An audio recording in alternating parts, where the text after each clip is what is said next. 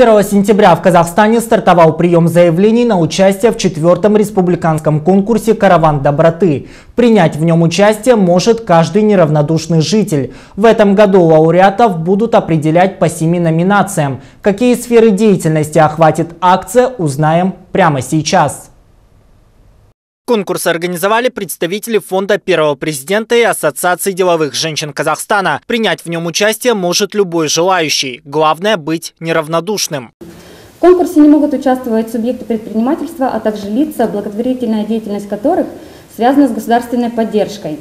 Лауреаты конкурса э, будут определены в следующих номинациях – в этом году номинаций 7, до этого было номинации 5. Асар Туханжир Батл Жюрек. Последнюю присуждают лауреату за героическую смелость и самоотверженность. Номинация Кайрамдалк Тариха за освещение благотворительности и социальных проблем в СМИ. В прошлом году у нас добавилось еще две номинации. Это Бала Жюриге, которая вручается детям в возрасте от 6 до 18 лет, и Жануарга Мирем. Номинация вручается лауреату, который является правозащитником животных, помогает в их содержании, а также пропагандирует доброту и милосердие по отношению к животному миру.